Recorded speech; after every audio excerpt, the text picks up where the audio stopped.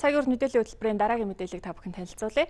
Боловсрол шинжилгээ ухааны яам мөнгөчийн хэлбэр харгалзахгүй бүх шатны боловсролын сургалтын байгууллагыг суралцагчийн сургалтын төлбөрт хөнгөлөлт үзүүлэх болон дараагийн төлбөр шилжүүлэх төр журам баталлаа. Төр журмаар 10 саяас дээш төлбөртэй хувийн сургуульд хувьсах зардал олгохгүй байхаар болсон байна. Өнөөдрийн байдлаар хувийн хөвчлийн 506 цэцэрлэгт 35 мянган хүүхэд, 167 сургуульд 48 мянган сурагч, 68 ихтэй сургуульд 70 мянган оюутан суралцж байна. Хувийн сургуулиудад жилд 17.9 тэрбум төгрөгийн хувьсах зардал олгодог. Үүнээс 10 сая болон түүнээс дээш төлбөртөө 11 сургуульд 1 тэрбум төгрөгийн хувьсах зардлыг олгохгүй.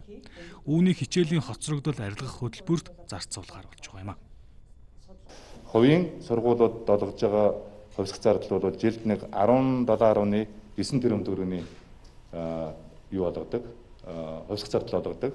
За үүнээс одоо 10 сая ба 10 ба түүнээс дээш сая төгрөгийн 11 сургуульд бол тэрбум төгрөгийн хувьсах зардал олгох юм байл. Энийг л олохгүй гэсэн шүү дээ тийм ээ. Энийг бол бид нар олохгүй юунд зарцуулах байгаа гэхээр нөгөө хичээлийн хоцрогдол үүссэн улсын хэмжээнд 178 мянган хүүхэд байгаа учраас энэ хичээлийн хоцрогдлыг нөхөхөд одоо энэ хувьсах зардлыг зарцуулъя гэж одоо бид нар бодож байгаа юм. Улсын хэмжээнд 5-аас 10 сая төгрөгийн төлбөртэй 24 сургууль байдаг. 5 сая төгрөгөөс доош төлбөртэй сургуулиудад хувьсах зардлыг олгохдоо захин хичээлийн эрсцийн гүйцэтгэлийг яам хянана. Мөн сургалтын үйл ажиллагаанд тасралтгүй зохион байгуулсан тайланг авна. Ерөнхий боловсролын сургуулиудын хувьд сургалтын төлбөрт хөнгөлөлт үзүүлсэн байдлыг үндэслэхээр боллоо. 5 сая төгрөгөөс доош төлбөртэй сургуулиудтай COVID-19-ийн халдвар гарахаас өмнө сургалтын төлбөрөөс 5% хөнгөлт үзүүлэх тохиролцоонд хүрээд байсан.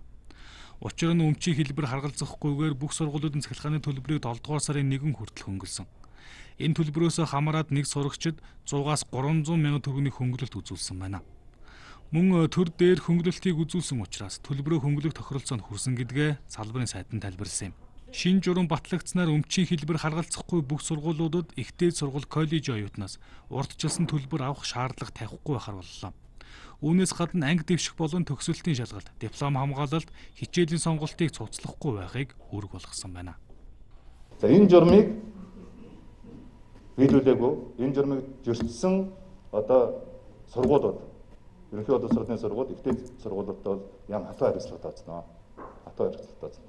Тэгэхээр би юу гэж байна вөхөр энэ журмыг зөрчсөн тохиолдол гарах юм бол манай оюутнууд за эцэг эхчүүд шууд яам хандах хэрэгтэй.